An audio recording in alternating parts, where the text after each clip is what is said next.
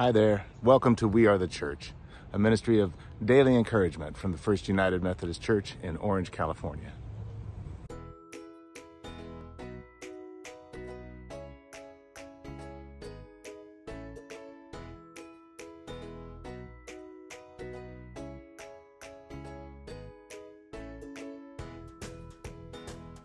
Well, greetings, friends. Happy Saturday to you. As you can see, I'm out getting a little bit of exercise today, and I thought I'd greet you from the road. Colossians 3.17 says, Whatever you do, in word or deed, do it uh, in the name of the Lord Jesus Christ, and the God of peace will be with you. Whatever we are to do, we are to do in the name of the Lord Jesus Christ.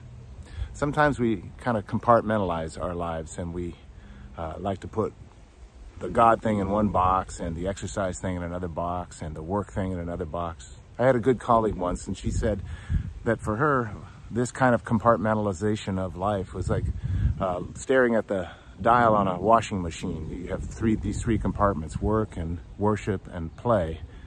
And she said, not only do we tend to keep God in the one box, but we've all kind of mis, uh, mislabeled the dial or we, we've turned the dial too far in one direction so that we worship our work. We work at our play and we play at our worship. She was saying that what she'd really like to see is for us to at least get those compartments back in the right places.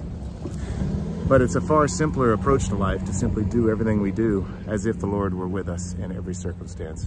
And that means that I pray a lot when I'm writing and I pray for all of you and I think through some of the things that I have to do at work. And when I'm at work, I remember these moments when I've been out on the road and, and seen some beautiful things. And always when I'm in worship, I am giving thanks uh, to God for giving me gainful employment and for giving me the legs to be able to ride. So what we want to do is make sure that we are uh, honoring God in every aspect and circumstance of our life. Kind of a simple message for this day, but whatever we do, whatever we do on this or any day, let's make sure that we do it as unto the Lord. It's a beautiful day outside. The rains have kind of freshened everything up. I hope you get, get a chance to get out and, and enjoy some of it. Unless you're in a part of the world where it's snowing right now, and in that case, stay warm. Why don't we pray? Thank you, Lord Jesus, for the love that you pour into our lives and for the strength that you give us for the very various circumstances of our lives. And we ask, O oh God, that we might honor you indeed in everything as your word tells us we are to do. And that we don't leave you out of any aspect of our life, but that you would guide us in all things. And this we pray in Jesus' name. Amen. Well, friends, thank you for stopping in for a moment today. I hope this moment of uh, encouragement has helped you along today.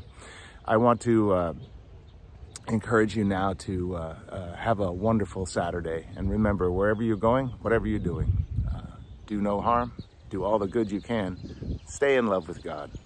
And until next time, I'm Pastor Bill Johnson, remind, uh, reminding you that you can find the uh, We Are the Church every Monday through Saturday right here on the YouTube channel for the First United Methodist Church of Orange. Blessings, everyone. See you later.